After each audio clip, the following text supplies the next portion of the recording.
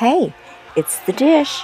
Stay tuned for more food and rock and roll shorts.